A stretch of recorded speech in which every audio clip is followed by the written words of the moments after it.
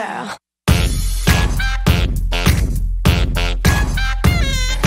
Who's been working so damn hard? You got that head on overload. Got yourself this flawless.